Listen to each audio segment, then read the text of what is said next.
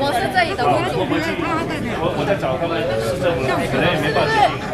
身着粉红色大衣的女性自称地主的女儿，要讨回板桥中正路三百一三号一楼和通往后面巷弄的土地，备好了砖块和工人要施工封路。居民说，四十多年前买下这里，必须要经过一楼再转入巷弄进出，大约一百户几百人，只有单一通道。两个月前收到通知说要封路，也不知道地主是谁，万一封路发生意外，该由谁负责？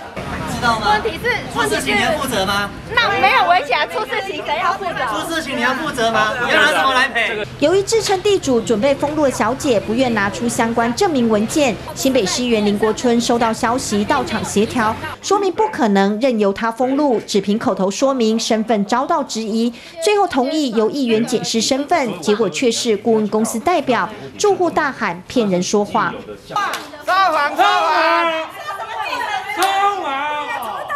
跟文正，连名字都不敢提来。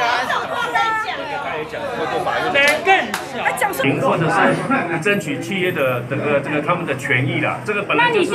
那那在这之前，我先找城乡局、地震局、民政局，还有公务局啊，还有法制局去讨论一下这种个案。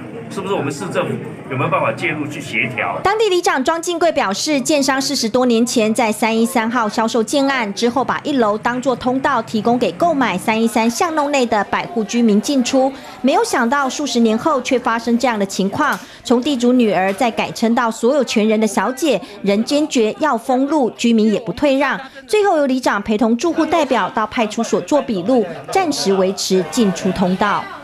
记者林丽如新北报道。